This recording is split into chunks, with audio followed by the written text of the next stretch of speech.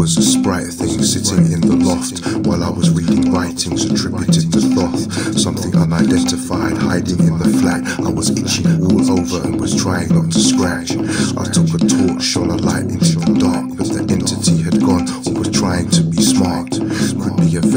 messenger for something that knows me. Reverse polarity. This animal below me. Then I was coughing and sneezing. I didn't know the reason. I saw the coughing's meaning and found it hard to breathe in. I knew it was not a demon. I found a scar that needed healing. Found that I was seeding. I thought that I was awake and alive, but I was dreaming. I mean, my dream is more real than the waking life I've been in. The analogy of allergy, sneezing influenza, with pollen as a column of the principle of gender. Let the male and female combine and stop colliding.